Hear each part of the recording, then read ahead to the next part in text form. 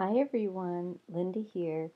Uh, you all do haul videos and today I went to a garage sale and look what I came home with.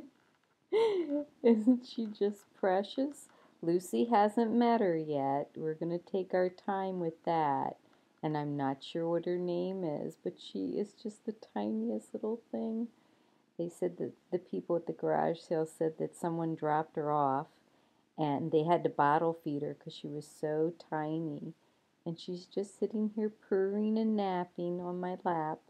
But I thought I'd let you see her. She looks an awful lot like Lucy. So I keep petting her and going down, letting Lucy um, smell my hands so that she can get an idea before they meet. But we're going to take our time. But this was my haul today at a garage sale.